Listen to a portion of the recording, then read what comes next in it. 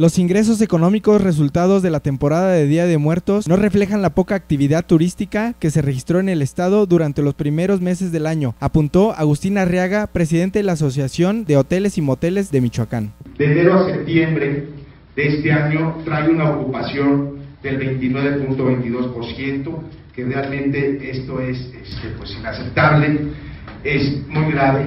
El resto, de, si vemos lo que es el año en sí, ¿no? enero, septiembre, ha sido muy bajo. Este, Pascua es una, una región en particular que ha sufrido mucho todo, todas estas situaciones. El empresario precisó que debe haber transparencia y una mejor gestión de la recaudación de los impuestos que se aplican a su industria, utilizándolos en la promoción turística. No tenemos cifras desde febrero hasta la fecha ya, ni siquiera nos pasan, antes sí te pasaban las cifras de cuánto era lo que se recaudaba. Desafortunadamente desde Conjara dejaron de siquiera tener la pues delicadeza de, de compartirnos esa cifra.